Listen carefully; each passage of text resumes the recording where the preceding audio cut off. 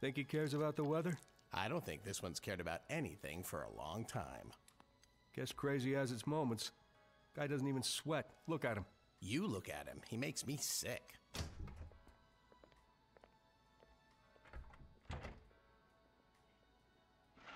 I know that sounds confusing to the layman, so let me explain. You see, it all comes down to this Batman fellow. His psycho-erotic behavior is like a net, trapping weak-minded neurotics like Harvey, drawing them into corresponding intersecting patterns. You could say Batman creates his own enemies, committing the crimes using his so-called villains as narcissistic proxies. In other words, the real villain here is Batman. Exactly as I warned, the Batman has infected the minds of Gotham's youth, poisoned these so called sons of Batman with an insidious excuse for the most violently antisocial behavior. Batman? I'm tired of hearing about him.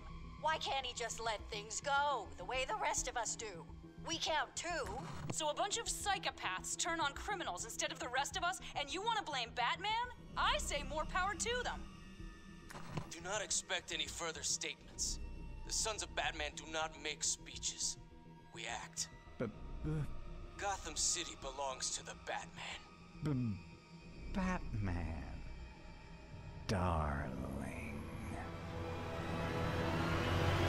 They're using his name. He could at least release a clear statement against what they're doing.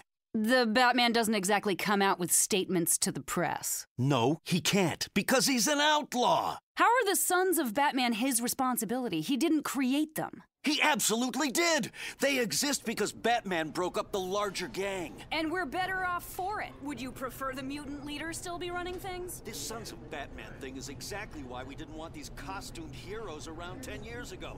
And why Batman shouldn't have come back. Because of their effect on our youth, on the public, on I see my favorite patient is up and about. Just super to see how well you're doing. For years, it seemed like you didn't have. A reason to go on. Exactly.